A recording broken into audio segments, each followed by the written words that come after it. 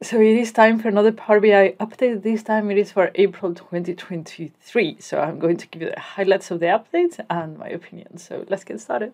Okay, first of all is the dynamic format string for measures. This, folks, is a quality of life update. I understand there is no revolutionary, but it will just make your dashboard shine. So make sure that you do check it out because what it basically does it is allows you to have different formats for the same measure. Let's say, where would I like to have that? Well, you could have that for units like pounds, um, metrics, or you could have like for currency. You could have that for the amount of decimals displayed.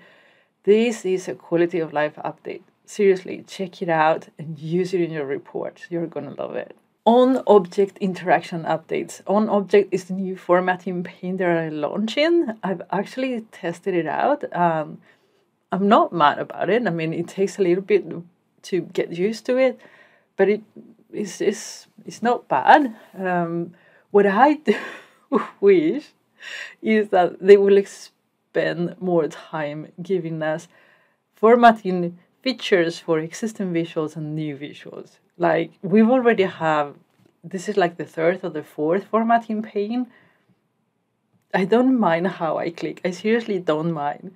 If I have to click 30 times more but just get what I need, I would be happy. So please start focusing in on adding more formatting features to the visuals and new visuals.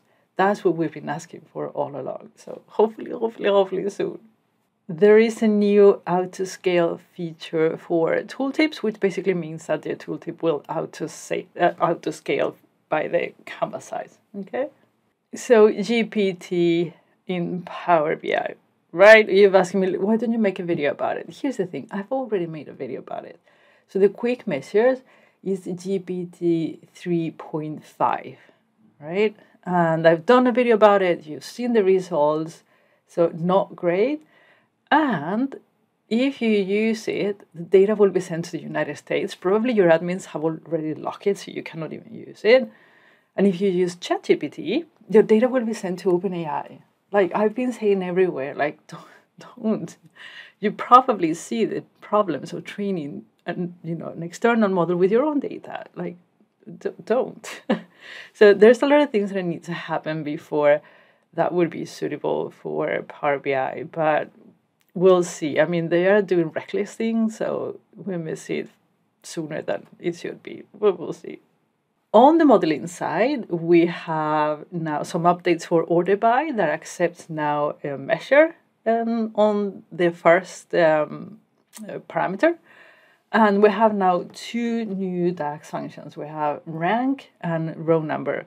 And I think those are window functions too because they behave the same way. So you will be able to do rank on a specific context that you specify within the measure.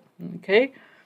And the difference between rank and row number is how it resolves the ties. One will be give you the same number as the previous one, the other one will try to resolve it, and if not, it will fail. We need to look, look into this uh, in more detail in a separate video.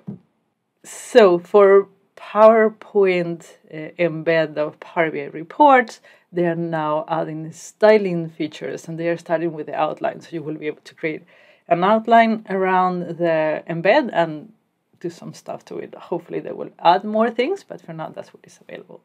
Paginated reports are getting some love. So, the paginated reports are available in the service, they are available on Pro nowadays.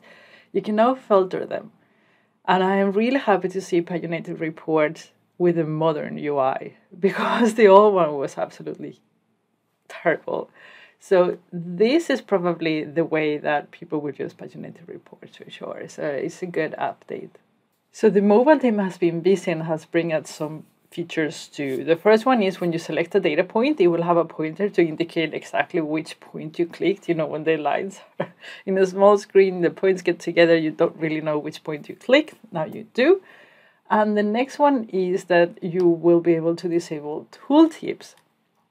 So neat, neat features, and we hope to see more from the mobile team, especially mobile visuals.